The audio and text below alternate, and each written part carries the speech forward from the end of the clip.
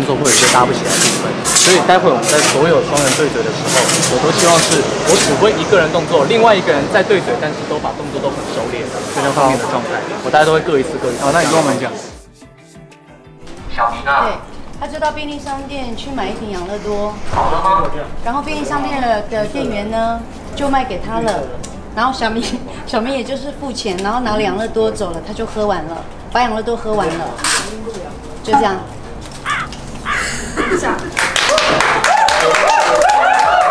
好，那我们的灯光好了，我快撑不住了。我在新加坡的时候，我们就三方，就我跟我经纪人还有书豪就约了要对 key，就只有书豪一个人都不出来见人。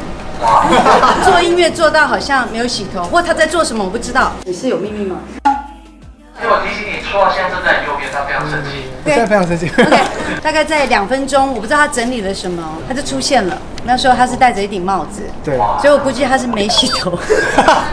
好，这是我们今天提供第二则笑话。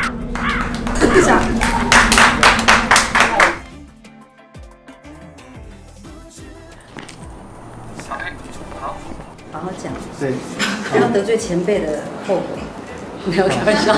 开开始了，开始了。啊，没有没有没有没有。他给你一种完全没有价值的感觉，完全就是零距离的感觉。一开始对我来讲会也是会吓到的，就是哎、怎么可以这么直接？因为我的反应比较慢一点，然后 V 姐反应非常快，然后跟她讲话我就是哎、接招，很容易会下句点不用。接啊，不用接招就是最厉害的招。好，你就不要理我，没关系。没关系，我不会说，我不想讲，害羞。但今天今天没有人理你，你会不会生气？没关系，我现在讲，我要把镜头留给你，看有没有办法自己一个人对着镜头讲一分钟，介绍你的歌。你要讲一下这首歌为什么大家非听不可？嗯，因为这首歌的作词人是 V 姐，还有苏轼。哎，真的是真的。有哦，我喜欢这个梗。等一下，我 catch 到了。今天拍这个 MV 觉得非常的开心，谢谢书豪的邀请，谢谢你们全公司，就是让我参与这个这个作品。然后听说是你的专辑啊对要要发了，所以祝你专辑。发